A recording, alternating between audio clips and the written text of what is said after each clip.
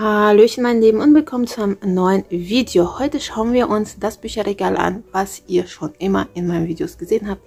Das ist das Bücherregal, was immer neben mir gestanden hat und jetzt mittlerweile hinter mir steht. Ähm, ja, das gibt wieder mal sechs Regalböden. Und äh, die zeige ich euch jetzt in meiner Übersicht. Und äh, die ersten drei davon schauen wir uns jetzt erstmal an. Und ja, ich wünsche euch wie immer viel Spaß beim Zuschauen. Das ist die Übersicht. Meine Dekoration ist voll. Wir haben hier Wednesday, hier lauter Joker, Batman und Joker. Wie ihr merkt, ist Joker mein Lieblings-William. Wir haben hier auch Harley zwischendrin übrigens. Ähm, ja. Harley Quinn darf nicht fehlen, wenn Joker da ist. Ähm, ich habe aber noch kein Funko von Harley, also kein großes. Äh, müsste ich mir mal irgendwann zulegen. Ne? Und ja, hier ist auch ähm, Supergirl und viel Harley. Und dann hier haben wir ähm, Aquamarin. Ne? So. Ähm, das ist rosa. Oder Rosenquarz. Rosenquarz ist das, glaube ich. Oh, komme ich durcheinander.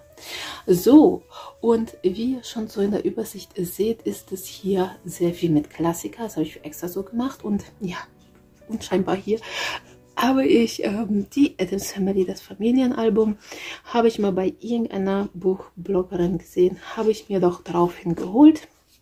Na, hier sind so Bilder drin, falls ihr es nicht gesehen habt und nicht kennt. Und ja, auch Text zu den einzelnen äh, Mitbewohnern, Familienmitgliedern der Adams Family. So, dann habe ich hier oben, seht ihr nicht, äh, Nathan der Weiße von Lessing. Haben wir damals in der Schule gelesen, würde ich ganz gerne nochmal lesen. Dann von Heinrich Heine, Deutschland, ein Wintermärchen. Ähm, dann hier, das seht ihr schon, ist äh, Weißer Weihnachtszauber, nostalgische Weihnachtsgeschichten. Ähm, ja, das habe ich von meinen Nachbarn damals äh, genommen, beziehungsweise sie hat es verschenkt. Und ähm, dann habe ich hier, oh, passend zur Netflix-Serie, weil sie mir so gut gefallen hat, von Edgar Allan Poe, Untergang des Hauses Ascher. Es soll ja nicht genau danach spielen, ne? weil ähm, das Buch ja erstmal älter ist, ne? aber ähm, mich hat es interessiert und ich würde ganz gerne das lesen. So, dann haben wir hier Mark Twain, Bummel durch Europa mit dem wunderschönen Bild. Das ist ja auch, das ist eigentlich ein Porträt. Ähm, genau, ähm, da bin ich auch sehr gespannt. So, muss ich die Bücher jetzt unternehmen? Und dann habe ich hier die Schmuckausgaben, die neu bei mir eingezogen sind. Mein Mann hat sie mir zum Geburtstag geschenkt. Einmal, beziehungsweise meine Kinder und mein Mann. Einmal Moby Dick als wunderschöne ähm, Ausgabe vom Koppenrad Verlag. Ähm, ja, hier sind halt eben Karten drin und äh, Briefe und so weiter. Und auch farbige Bilder. Ich finde bei Klassikern die Illustration immer so eine Hilfe. Ähm, dann habe ich hier von Jules Verne ähm, 80 Tage um die Welt. Genau hier das gleiche. Das hier hat hier sogar einen farbigen Buchschnitt. Dann Zeichnungen von meiner Tochter. Die liegen zwischendrin, weil sie sie mir zum Geburtstag geschenkt hat. Und 20.000 Meilen unter dem Meer, auch von Jules Verne. Auch in der gleichen, auch in der Schmuckausgabe mit Extras.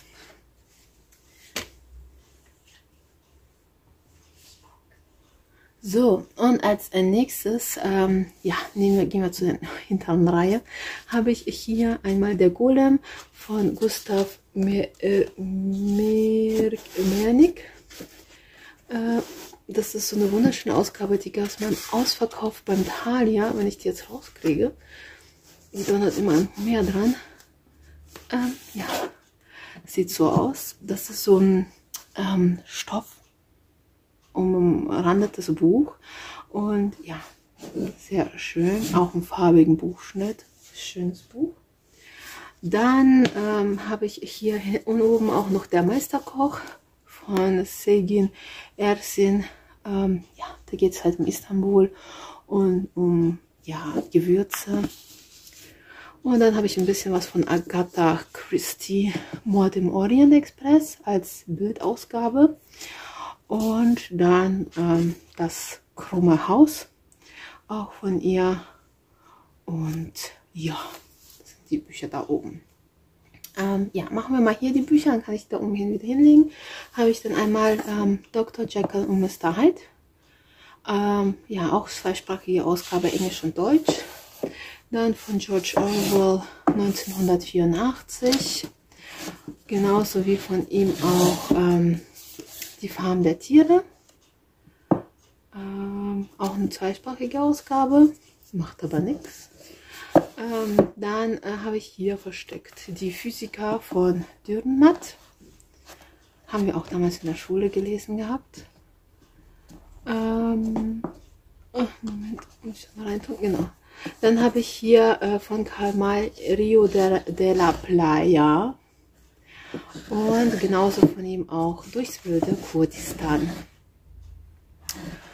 Und dann habe ich nebendran das Schmuckstück Goethes Faust. Das haben wir auch in der Schule gelesen, Faust. Aber nur Faust 1. Faust 2 durften wir dann selber lesen, wenn wir wollen. Dann habe ich hier zwei Bücher von Victor Hugo. Einmal Der Glöckner von äh, Notre Dame äh, vom Anaconda Verlag und einmal ähm, Le Miserable, die Elenden, auch von ihm. So, ich tue das jetzt schon mal nach oben weil die nächsten liegen nämlich so quer da. Etwas dicker. So, hier oben haben wir auf jeden Fall ähm, Hymer und äh, die Odyssee. Da ist mir leider das Buch runtergefallen, musste ich leider kleben. Ähm, ist eine illustrierte Ausgabe, hat aber nicht so viel gekostet beim Thalia, war glaube ich auch damals im Ausverkauf gewesen. Ähm, hier sind auch Bilder drin und ich bin da echt wirklich gespannt, also auf die Odyssee. Dann habe ich hier von Patrick Süßkind das Parfüm. Haben ja einige in der Schule gelesen, ich nicht. Dann der kleine Prinz. Auch ein Klassiker natürlich. So, jetzt mache ich das mal weg hier. Genau so das da. Und dann habe ich hier von John Boyne, äh, der Junge auf dem Berg und genauso von John Boyne, der Junge im gestreiften Pyjama. Der Junge im gestreiften Pyjama war, glaube ich, von Rebuy äh, bei Rebuy bestellt. Der Junge auf dem Berg habe ich damals neu gekauft, soweit ich mich erinnern kann. Dann habe ich hier Schiller die Räuber. Das haben wir auch im, ähm, in der Schule gelesen. Genau. Ähm, dann habe ich hier Oscar Wilde, einmal ähm, das Bildnis des Dorian Gray. Und dann äh, das Gespenst von Canterville, einer, Entschuldigung, wollte ich euch nicht stören, einer meiner äh, Lieblingsmärchen äh, quasi, Geschichten. Ähm, dann Jack London, der Seewolf. So sieht's aus. Das haben meine Eltern damals gekauft äh, für mich. Ähm, ich habe zwar bis dato gar nicht gelesen. Die haben mir auch damals, die beiden zusammen, auch Robinson Crusoe gekauft. Und Robinson Crusoe habe ich im Urlaub am Meer ge äh, gelesen. Und äh, es gibt nichts Unbeschreiblicheres, als Robinson Crusoe am Meer zu lesen, wegen dem Rauschen. Und er dann allein auf einer Insel, beziehungsweise ja, nachher ist ja Freitag bei ihm. Ähm, dann haben wir hier Don Quixote. Ähm, das ist aber nicht die Originalausgabe. Ich glaube, das ist, ähm, da geht es um ganz was anderes. Genau. Ähm, das ist nur eine Nacherzählung, genau, von äh, Don Quixote, aber ich bin da echt wirklich gespannt. Dann habe ich hier Ottfried Ben. Ähm, das ist auch ein Dichter, der hat wunderbare Gedichte geschrieben, die mir sehr, sehr gut gefallen. Und äh, deswegen habe ich das Buch da. Und dann habe ich hier so ein kleines altes Highlight, das ist Kasperl Geheimnisse von Gustav Resatz. Das ist ein ganz altes Buch, ähm, 1900, äh, gucke ich gleich, ähm, 43, genau, 43 ist herausgekommen und es ist echt wirklich sehr, sehr altes Buch. Es ist mir aus Versehen in die Hände geraten. Das sind die tragischen Figuren und hier hinten sind sogar solche, wie man die Weste bastelt und so weiter. Spieltexte sind hier drin und ähm, ja, also das ist so ein Highlight hier in diesem, äh, an dieser Abteilung. So, wir gehen jetzt eins nach unten, würde ich sagen. So, wir sind nun eins unten runter und wie ihr merkt, wie ihr seht, mag ich dann DC Universe sehr gerne. Ähm, ja, hier übrigens das Sparschwein meiner Tochter und das Sparschwein meines Sohnes da auf der anderen Seite. Ähm, dazu habe ich nichts hinzuzufügen und diese kleinen Figürchen aus der Überraschungseiern, dann solches Geld, das haben wir auch irgendwoher. Dann die ganzen Figürchen, ich sammle sie mal ein. So,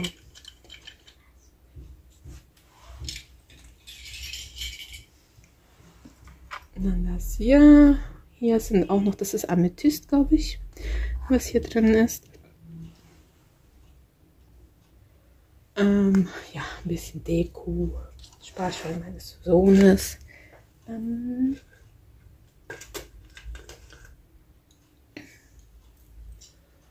dann ein Globus und ein Minion als Pilot. Genau, das hat es jetzt untergefallen, mir gefällt dieses Bild so sehr. Das erinnert mich immer an Anna Karenina. Meine Mutter hatte damals immer die Ausgabe mit dieser Dame hier drauf. Ähm, jawohl. Und hier, wie ihr seht, auch wieder Klassiker. Und zwar auch noch fremdsprachige. Einmal hier ganz vorne haben wir erstmal auf Deutsch Dämmerung über Jakarta von Dr. Mubis. Das ist, ähm, geht um die Zeit nach der Revolution in Indonesien. Ähm, bin ich auch sehr gespannt. Dann hier drüben haben wir Michael Bulgakov, Meister und Margarita auf Russisch. Und das ist eine limitierte, illustrierte Ausgabe. Ähm, ich kann sie euch ganz gerne zeigen, wie sie innen drin aussieht. Das ist wunderschön. Ähm, sie hat hier Fotos drin aus der Zeit, als er es geschrieben hat. Und ähm, wer ihn dann beeinflusst hat, beziehungsweise wer wohl wen darstellt, gibt es auch hier. Ich finde die Seite jetzt nicht. Also wie gesagt, hier Bilder und also viele Fotos ne, aus der Zeit, als er es geschrieben hat auf Russisch. Und wenn man den Umschlag wegmacht, ist es echt wirklich wunderschön. Hat man dann diese fliegende Hexe auf dem Besen. Ähm, ja, wie gesagt, es ist limitiert und illustriert, limitiert und illustriert sogar noch. Und ja, also hat mich ein bisschen was gekostet. so, dann haben wir hier ein altes russisches äh, Schulbuch aus dem Jahr 1990. Ähm, das habe ich damals noch von meiner Nachbarin bekommen. Ähm, mein Vater hat auch so eins, aber ist verloren gegangen. Und das ist, glaube ich, Klasse 4, soweit ich weiß, russische Sprache. Ne? Also hier, wie man es lernt. Aber wie gesagt, schon länger, ja. Dann haben wir hier weiterhin Klassiker. Das ist äh, Fedor Dostoevsky, äh, Idiot. Und das ist auch eine, erstmal, das ist so 3D-mäßig. Äh, und das andere ist, es ist illustriert. Also das sind auch Bilder drin. Hundertprozentig komme ich jetzt in keins dran. genau, hier zum Beispiel mit Illustrationen. Und äh, die waren mir halt bei diesen ganzen ähm, klassischen Büchern sehr wichtig, weil ich finde, dann ist es nicht so ähm, langweilig, finde ich, so eingestaubt so alt. Genau. Ähm, Moment. Dann geht es weiter, habe ich hier oben das kommunistische Manifest von Karl Marx und Friedrich Engels. Das ist eine Schuber, habe ich im Thalia gekauft. Genau, so sieht er aus, eigentlich von vorne. Ist eine Schuber, da ist auch viele Bilder drin und ja, viel über die Geschichte, wie das kommunistische Manifest geschrieben wurde, was die Ideologie dahinter war und ja, natürlich dann in die Übernahme, also halt wie die Sowjetunion das Ganze dann halt eben ähm, übernommen hat. Genau. Dann habe ich hier ähm, ein Buch äh, das sind äh, schwarze, die, schwarze, die, die schwarze Henne oder die Leute unter dem, unter der Erde, die, die Bewohner unter der Erde, so rum. Und ähm, meine Mutter kennt es auch nicht, ich kenne es auch nicht, aber ich würde es ganz gerne mal ganz gerne lesen. Also es sieht aus wie so ein Kinderbuch, aber ich glaube, das ist gar kein Kinderbuch. Äh, mit vielen Illustrationen hier drin, aber auch sehr großer Schrift. Denn wenn es ein Kinderbuch wäre, müsste Nikolai Gogels ähm, äh, Der Jahrmarkt von Sroczynski auch ähm, ein Kinderbuch sein. Und ich, soweit ich weiß, ist es kein Kinderbuch. Ähm, das sieht nämlich dann so aus. Genau. Und hier auch, also es ist voll illustriert. Und ähm, mit sehr, sehr vielen Bildern. Ja. So. Und dann habe ich hier oben auch eine ähm, Schmuckausgabe, eine illustrierte Schmuckausgabe von äh, Dracula. Und ähm, ja, ein sehr schweres Buch, genauso wie Moby Dick oben. Das habt ihr davor gesehen. Und es hat eigentlich das gleiche wie Moby Dick auch drin. Und noch bis halt silberner hier Buchschnitt. Es hat halt so äh, von den ersten Filmen von Dracula und äh, Briefe, die halt äh, wohl geschrieben wurden und so. Also ja, viele Extras doch da drin. Und es ist auch noch illustriert, von daher Jawohl, Zeit, dass ich es lese. Ich hatte davon eine Jugendausgabe, die war nicht illustriert. Die liegt bei mir da. Vielleicht will meine Tochter es irgendwann mal lesen, wer weiß. Dann habe ich von Gaito Gastanov das Phantom des Alexander Wolf. Das habe ich schon einmal angesprochen, dass ich es da habe. Habe ich bei Andrea Wintermädchen damals gesehen und musste mir dann sofort das bei Rebuy bestellen. Dann gehen wir hier durch. Einmal noch fremdsprachige Literatur auf Russisch. Ähm, Nikolai Gogol, ähm, Die Nacht auf der Huta Bestinkanka. Das ist illustriert. Eine illustrierte Ausgabe. Wunderschöne Ausgabe. Ähm, auch so mit farbigen ähm, Blättern zwischendrin. Genauso wie auch von ihm ähm, die toten Seelen. Auch illustriert, aber die sind nicht farbig, also nur schwarz-weiß aber auch unterschiedlich, wie ihr seht, von den Zeichnungen her. Dann habe ich äh, weiterhin Nikolai Gogol, deswegen dachte ich, ich nehme die Deutschen dann weg. Ähm, das sind halt eben quasi illustrierte Gesamtausgaben. Das ist einmal hier äh, die Nacht auf der Hute bis die Kainka, Mirgorod, also ich weiß nicht, wie es auf Russisch heißt, auf Deutsch heißt, und äh, die Petersburger Erzählungen sind hier drin. Und die sind auch alle illustriert. Ihr seht mit äh, vielen Bildern. Und äh, ja, und genauso hier auch Nikolai Gogol, auch die, der zweite Teil davon. Und hier sind dann die toten Seelen, ähm, Revisor, ich weiß nicht, wie es auf Deutsch richtig heißt, ähm, Verlobung, Genitma und ähm, Igraki, das heißt ein Spieler. Ne? Also auch so, so Erzählungen, die jetzt nicht so berühmt sind von ihm. Genau. Dann habe ich hier von Lev Tolstoi ähm, Krieg und Frieden einmal den, die ersten beiden Teile, auch in einer illustrierten Ausgabe, also auch mit Bildern zwischendrin. Und ähm, ja, habe ich aufgepasst, dass es wirklich Bildern ist, aber auch von außen finde ich, sieht das wunderschön aus. Und dazu gibt es noch den zweiten Teil, also 3 und 4. Und ja, die sind, das ist auch ein illustriertes Buch, genau. Hier sind auch Bilder drin zwischendrin. Jawohl. Und das letzte russische Buch, also das Buch auf Russisch, ist äh, Boris äh, Pasternak, Pasternak und das ist Dr. Chivago und andere Erzählungen. Das ist nicht illustriert. Aber da gab es leider kein nichts Illustriertes davon. Ich wollte es mir am Anfang auf Deutsch holen, dann habe ich es nicht getan und habe es mir dann auf Russisch geholt. Bereuen werde ich es wahrscheinlich nicht. Äh, ja, dann geht es weiter hier mit klassischer Literatur, Fedor Dostoevsky, Schuld und Sühne auf Deutsch. Ähm, ja. Wenn soweit ist, hole ich es mir auf Russisch wahrscheinlich. Genauso wie die Brüder Karamasow. Die gibt es ja auch auf Deutsch. Und wahrscheinlich werde ich es mir auf Russisch holen, denn es ist sehr, sehr dick. Und ja, das macht es auch die deutsche Sprache ein bisschen aus, weil ähm, im Russischen ist es kurz gehalten, aber in Deutsch muss man so ein bisschen beschreiben, was der Russe damit meint. Genau deswegen ähm, dann habe ich hier einmal ähm, Frankenstein von der Barnes Nobles Edition, ähm, aber im Softcover.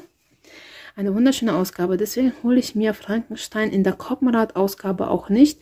Ähm, erstmal, wenn ich drauf fühle, kommt es so die Wärme zurück. Das ist das, was mich immer wieder fasziniert an diesem Buch. Und das andere ist halt ja innen drin. Es gibt halt zwar keine Bilder, es hat aber einen farbigen Buchschnitt. Und es ist halt auf Englisch, ne? Dann das schöne Buch, was ich damals bei Sarah Bow gesehen habe, dann mir auch holen musste, das ist Beauty and the Beast and Other Classic Fairy Tales für die nicht deutsch, äh, für die nicht englischsprachigen äh, Schöne und das Biest und andere Märchen. Eine wunderschöne Ausgabe, wunderschön. Es hat auch einen farbigen bzw. silbernen Buchschnitt und ähm, ja, es sieht echt wirklich wunderschön aus. Die fühlt sich auch so hochwertig an. Und wenn es hier drin steht, sieht es halt echt wirklich schön aus. Dann Anna Karenina. Ich würde es mir jetzt nicht auf Russisch holen. Ich habe es jetzt auf Englisch da. Von Lev Tolstoy. Ähm, goldener Buchschnitt, ne? Übrigens. Und es sieht echt wirklich wunderschön aus. Ganz, ganz edel. Und ja, kann man nichts sagen. Und dann die kompletten Novellen von Jane Austen. Deswegen ist auch Stolz und Vorurteil im anderen äh, Regal bei den vielleicht Aussortierbüchern auch goldener Buchschnitt übrigens. Und äh, falls ihr euch interessiert, was hier alles drin ist, äh, Sense and Sensibility, ich glaube, ich weiß gar nicht, was es ist. Pride and Prejudice, das ist ähm, Stolz und Vorurteil, genau. Mansfield Park, Emma, Northanger Abbey und Presumptions. Presumption. Genau, und ähm, ja, da bin ich auch sehr, sehr gespannt. Für alle, die Jane Austen noch nicht gesehen habt, sie sieht, sah mal so aus, ne? So. Genau, das war der zweite Regalboden. Wir kommen jetzt zum dritten, also gehen wir weiter nach unten, ne? Würde ich sagen jetzt beim letzten, beim dritten und beim letzten Regalboden und wie ihr seht, ist hier so ein bisschen durcheinander. Hier sind nämlich auch Alltagssachen dabei. Einmal so ein Mond, ein Zepter und Luna. Und wie ihr merkt, ist hier sehr Sailor Moon lastig, sehr Japan lastig. Und ähm, ja, ich tue die jetzt hier weg. Dann, ähm, ja, die muss ich auch wieder weg tun. Das sind alles Lesezeichen. Hier sind auch so ein paar Nagelfallen von mir dabei. Ähm, ja, alles so Utensilien, die man so zwischendrin mal braucht als Frau. Ähm, ja, und halt wahnsinnig viele Lesezeichen. Ähm, die muss ich auch erstmal wegmachen. Oh, ja. So. Ich versuche es immer schneller zu machen, nicht, dass das Video zu lang wird, beziehungsweise mein, meine Kamera ist uns abbrechen nach 30 Minuten. Das kennen wir ja schon. Und ja. Okay, so in etwa. Ähm, schauen wir uns gleich an, wie weit wir damit kommen. Also hier auf jeden Fall, ähm, das machen wir gleich, habe ich äh, Zeitschriften von äh, Witches oder Witch. Ähm, ja, das sind Jugendzeitschriften, die habe ich in meiner Jugend sehr gerne gelesen. Das sind Freunde, die entdecken dann Kräfte, die nach den ähm, Elementen gehen. Das heißt, da gibt es dann wohl ähm, Erde, Luft, Wasser. Und äh, ja, die erleben dann halt eben Abenteuer, werden auch angegriffen und müssen sich dann verteidigen. Genau. Ähm, dann, muss mal gucken, wie, wie es bei euch aussieht da. Ähm, dann habe ich hier noch so ein paar Flyer aus unserer ähm, ja, aus unserem Sommer, letzten Sommer. Meine Powerbanks übrigens hier, die habe ich gesucht. Ne? Nur so zur Info. Dann, äh, das schauen wir uns gleich an. Die tue ich nämlich dann wahrscheinlich hinten auch wieder rein. Ähm, genau, hier habe ich noch ein paar nochmal Lesezeichen. Jawohl. Ich habe so viele Lesezeichen. Ich habe die meisten auch selber gemacht. Dann haben wir hier, genau, noch ein paar Lesezeichen. Jawohl. So, jetzt sind wir mit Lesezeichen aber fertig. Dann habe ich hier ähm, fängt dann meine Sailor Sammlung an. Das sind einmal ähm, die offiziellen Fanbücher.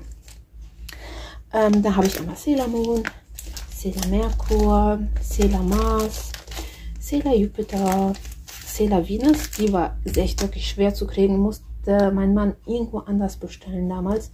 Ähm, denn ich wollte das hier haben, habe aber von Reader dann das hier bekommen. Auf der einen Seite ja auch nicht schlecht, ne? Und äh, ich bedenke auch darüber nach, mir eventuell noch die anderen zu holen. Die gibt es auch bei Rebuy zu kaufen, also falls ihr da Interesse habt. Dann habe ich hier meine Sailor Moon ähm, Hefte, die ich so nach und nach nachgekauft habe, ähm, die so rauskamen. Ne? Und hab so leider habe ich euch ein bisschen gewackelt. Ähm, ja, dann habe ich hier so ein Artwork. Das habe ich damals geschenkt bekommen, als ich dieses Sailor Venus, ähm, als mein Mann dieses Sailor Venus für mich bestellt hat. Hier haben wir einmal Prinzessin Serenity, einmal Luna in ihrer Menschenform. Dann habe ich so ein kleines Zusatzheftchen. Das gab es mal in einem Comic, Prinzessin Kaguya. Das war ja der Film, den es gab. Und dann habe ich hier noch Artwork und zwar Band 1 das Artwork. Und Band 3 kosten mittlerweile hammer, hammer viel. Also ja, Leute, falls ihr es habt, behaltet es. Falls ihr es nicht habt, kauft. ja, dann habe ich hier, bevor wir hier hinzugehen, habe ich hier noch die Eternal Edition. Das heißt, äh, Sailor Moon als Hardcover. Ähm, das sind sehr, sehr schöne Bücher. Hier habe ich zum Beispiel haben Sailor Moon drauf. Es ist das gleiche, was hier drin ist, nur sind hier ähm, halt farbige äh, Blätter zwischendrin. Ich habe auch nicht alle. Ich glaube, es geht bis 10. Ich habe die ersten fünf mit den ersten fünf Sailor-Kriegerinnen quasi. Ähm, genau. Und danach gab es Probleme mit dem Druck. Und ich habe so ein bisschen abgewartet und ich habe mir bisher die restlichen nicht geholt, die rausgekommen sind. Ähm, genau, das kann ich euch hier zeigen bei Nummer 5. Und ähm, ja, hier zum Beispiel, ne, sehen dann so aus, farbig. Aber ansonsten sind das der Rest alles schwarz-weiß, genauso wie in den alten äh, Comics. Genau, die kann ich euch jetzt auch zeigen. Ähm, da habe ich alle. Das ist Nummer 1, Metamorphose. Nummer 2, der maskierte Mann. Dann Nummer 3, äh, äh, Mondkriegerinnen. Der Silberkristall. Ähm, die Wächter der Zeit. Der Planet Nemesis ähm, Black Lady, die Schule des Lebens, Uranus und Neptun, Sailor Saturn, Prinzessin Kaguyas Geliebter, der Pegasus, Helios, ähm, der Dämonenzirkus, äh, Königin Helenia, die Sailor Starlights, Sailor Galaxia und das letzte Nummer 18 ist galaktische, das galaktische Chaos. So, das waren alle. Das war so meine Sailor Moon Sammlung und da hinten seht ihr schon versteckt habe ich die Oh My God Sammlung. Da geht es um einen jungen Mann, der aus Versehen sich verwählt und in einer Göttin-Hotline landet. Genau, dann haben wir Nummer 1, falsch verbunden. Nummer 2, äh, meine große Schwester. Genau, ich glaube, da kam dann Urt hin. Ähm, ein echtes Wunder.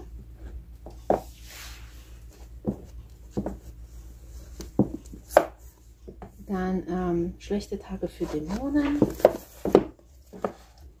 Äh, nichts als Ärger. Urt und der Junge. Dann äh, Rache ist Blutwurst. Der Ninja-Meister. Ähm, das Gesetz der Ninja das spielt. Der Kampf um Urt. Äh, Keiichi und die Frauen. Das Ende der Kindheit. Königin Sayoko. Dann etwas Dickeres. Das ist dann Körper und Geist. Die Rückkehr der vierten Göttin. Licht und Schatten. Göttin ohne Lizenz. Das ist die Nummer 18. Dann habe ich mir seit neuestem auch Nummer 19 und 20 geholt. Nummer 19 ist dann Wege zum Sieg. Und Nummer 20 wäre dann Ultimative Magie. Genau, das sind die letzten beiden, die ich mir geholt habe. Es liegt einfach daran, dass ich, ähm, ja, es gibt sogar noch mehr. Also da scheint es, also, oh mein Gott, es gibt es sehr, sehr viele äh, Bücher dazu, also sehr, sehr viele Bücher zu der Reihe. Und ja, das sind die, die ich bisher habe. und ab 20 wird es ein bisschen schwierig, auch über Rebuy einzukaufen. Genau. Das andere, was hier japanisch angehaucht ist, ist ähm, Geistergeschichten aus Japan. Das ist so eine illustrierte Ausgabe zu den einzelnen Geistern mit äh, auch mit Bildern, ne? so farbigen. Und dann bleiben wir in Japan. Habe ich hier von Aqua Golden äh, Geisha, die Geisha habe ich gelesen, war ein wunderbares Buch. Mir hat es auf jeden Fall sehr, sehr gut gefallen. Und dann kommen wir schon zu Lian Hörn. Ähm, Lian Hörn hat eine meiner Lieblings, ähm, Lieblingsreihen äh, geschrieben und zwar Der Clan der Otori. Das ist der letzte Teil, der Ruf des Reihers. Und dann sieht übrigens so aus. Wunderschön. Im Hardcover habe ich auch die 05 davon, also nicht den ersten Teil, sondern den Prequel. Ähm, die Weite des Himmels. Und dann habe ich die nächsten drei so einer ganz alten Ausgabe, Das Schwert der Stille, das war eigentlich das Original, das erste Buch. Das zweite Buch dazu, das Der Pfad im Schnee. Und der, das dritte Buch heißt äh, Im Glanz des Mondes, des Mondes, genau. Genau, das sind halt die drei Premieren und das kommt davor und das kommt quasi danach zum Abschluss. Und äh, dann habe ich das erste Buch von einer neuen Reihe geholt, von der es, wie es aussieht, nur zwei Teile gibt oder drei und das, der dritte wurde nicht übersetzt. Das ist äh, die Legende von Shikanoko und das ist halt der erste Teil, Herrscher der acht Inseln. Genau. Ähm, so sieht es hier aus im zweiten, in der zweiten Abteilung dieses großen Bücherregales. Und ja, Danach geht es ein bisschen chaotisch, aber auch nicht chaotisch und sehr nostalgisch zu.